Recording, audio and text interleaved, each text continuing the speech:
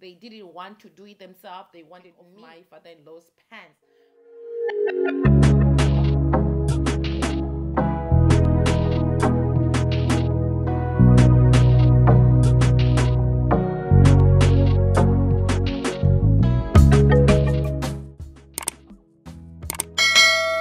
guys welcome back to my channel my name is Rodah if it's your first time here please you're welcome honey. Thank you for clicking. And while you're here don't forget to click that subscribe button and join the family. If you're returning Sabi, honey thank you so much for doing this for me.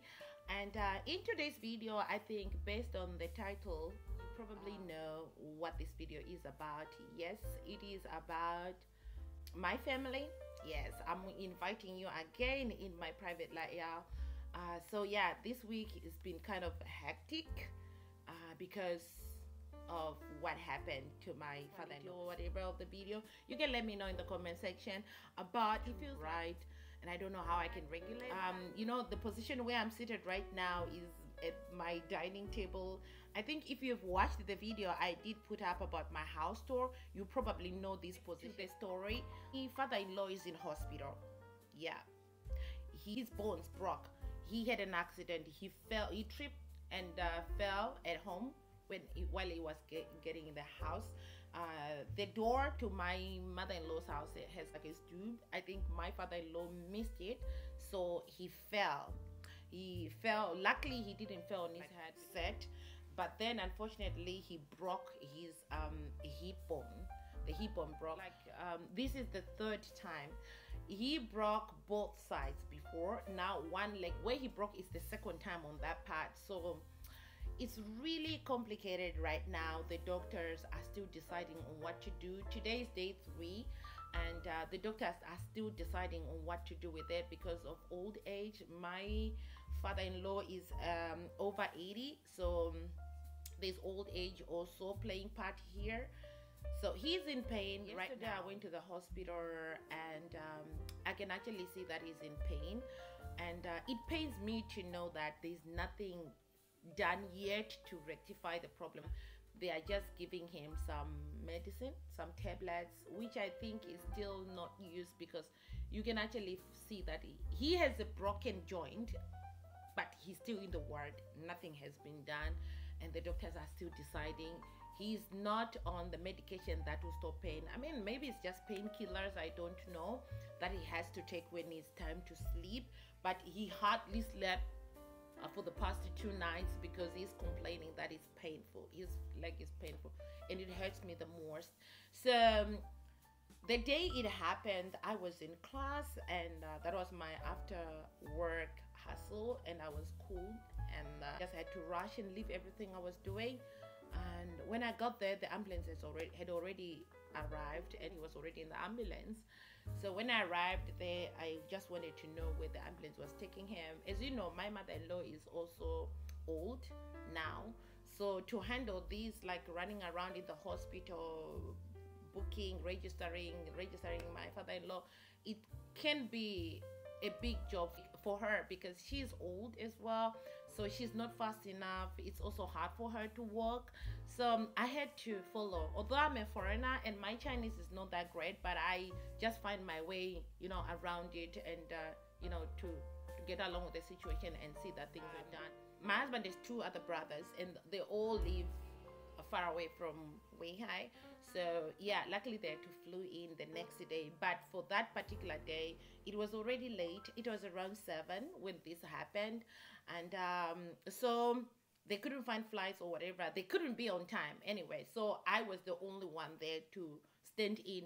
Yeah, I did what I had to do. So I was just with my father-in-law. So the first thing they did was to register him and then take him to the x-ray room. They wheeled him to the um, x-ray room and my mother-in-law had Tyler because we had nobody to look after Tyler. So my mother-in-law had Tyler and they were left on the first floor and this was gonna happen on the third floor. So I had to follow and get go along with my father-in-law and the doctors, you know. So when we got there, he was still wearing his pants. So this is something that I couldn't understand because when the doctor the doctor told me to go in and uh, take off my father-in-law's pants. I found it really, really hard. Actually, I, I couldn't. Honestly, I couldn't. I don't know, you guys, what would you do if you're in my position? So I told the doctor that yes, he's my dad, but he's my father-in-law. I please i can't just do it and the doctor surprisingly the doctor is a male so i don't know why the doctor was asking me i don't know if there are some reasons why they they didn't want to do it themselves they wanted me the family member to take off my father-in-law's pants which i i couldn't. I failed. I said no i i can't. I just told the doctor i can't. Please do what you have to do. I can't. Please take off the pants. I can't. He's my father-in-law. I can't take his pants off. And the doctor uh, luckily the doctor didn't argue with me. He quickly got it. I was asked to leave the room because it's in the x-ray. So they closed the doors and uh, as you can see so i was able to just take some photos of him on the on the bed in the x-ray room. And um, after a couple of minutes they wheeled him out and, and we went downstairs uh, to the first floor again. You know at the hospital because here in china hospitals are you know some things a lot of things happen on different floors luckily there are elevators but i think it's a whole lot of a job because when we arrived at mission in the emergency area it was already tonight so we didn't go to the outpatient. We went to the emergency right? And also it's an emergency. He came with an ambulance. So um, we were left on the first floor and we did all the registering the payments the admission on the first floor. So we paid for x-rays. We had to be wheeled up on the to the third floor. And then uh, after the x-ray we had to co- come down again to the first floor and then we were asked to decide he has to be admitted in a hospital. So we say yes it's okay. So then they had to fill in the paperwork for um, admission. That means he was going to be admitted and sent to the ward. That was the next process. And all this by the way when you come through the outpatient i mean the emergency it's kind of fast i think as compared to if it was daytime and you go through the uh, outpatient area i think that part is usually uh, packed and uh, so many people and it will take hours and hours to get everything done and finally get to the wards.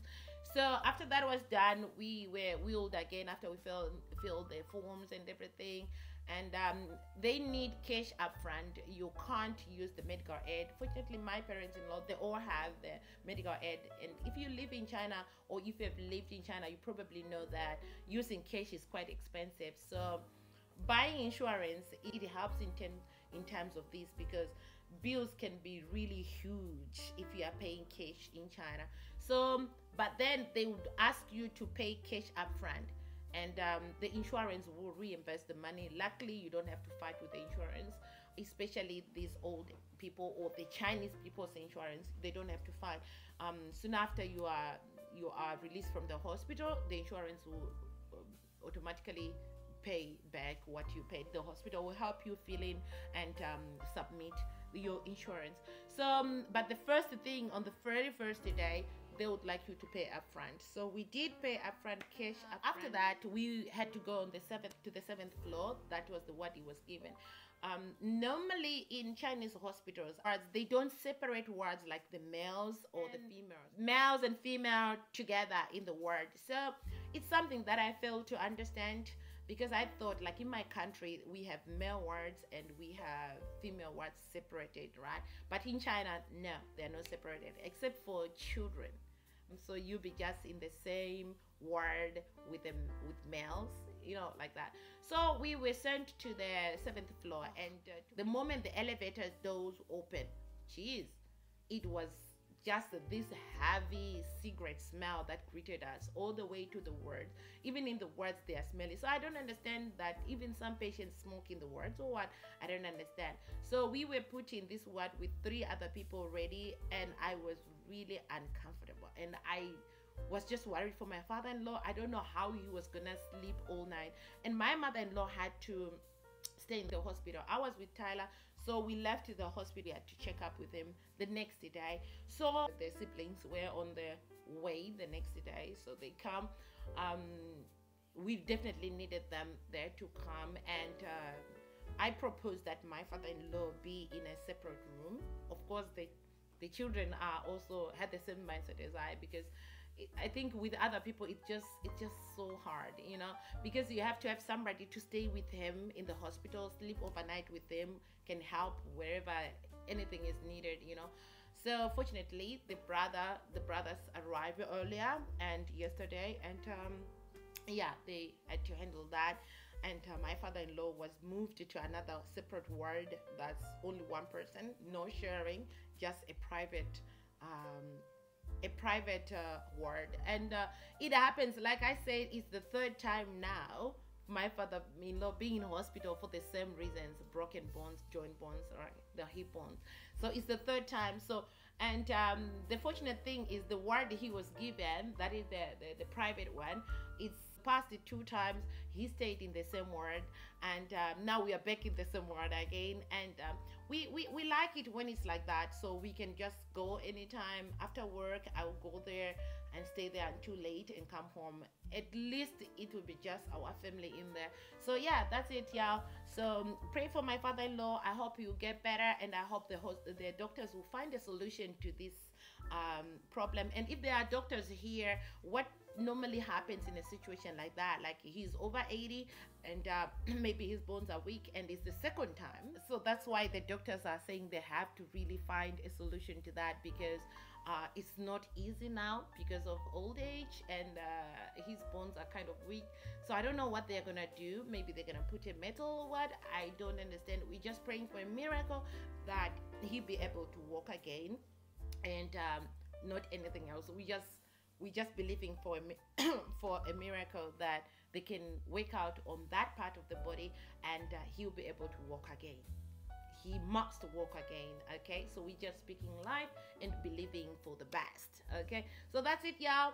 And also while lisa was following the ambulance i did went through a red traffic light. So right now i'm just also praying that I don't get a ticket. And uh, in China, because of the point system, I'm probably looking at losing six points for going through a red traffic light and also pay a fine. I I really don't know. I'm just praying and believing that the cameras didn't get me. Yeah, it sort of happens. Maybe just a miracle the cameras didn't get me. Yeah, I will give you an update of um, how it went and um, yeah every day i'll give you daily updates on that. Just pray for our family because this is a trying time. It is a sad time really.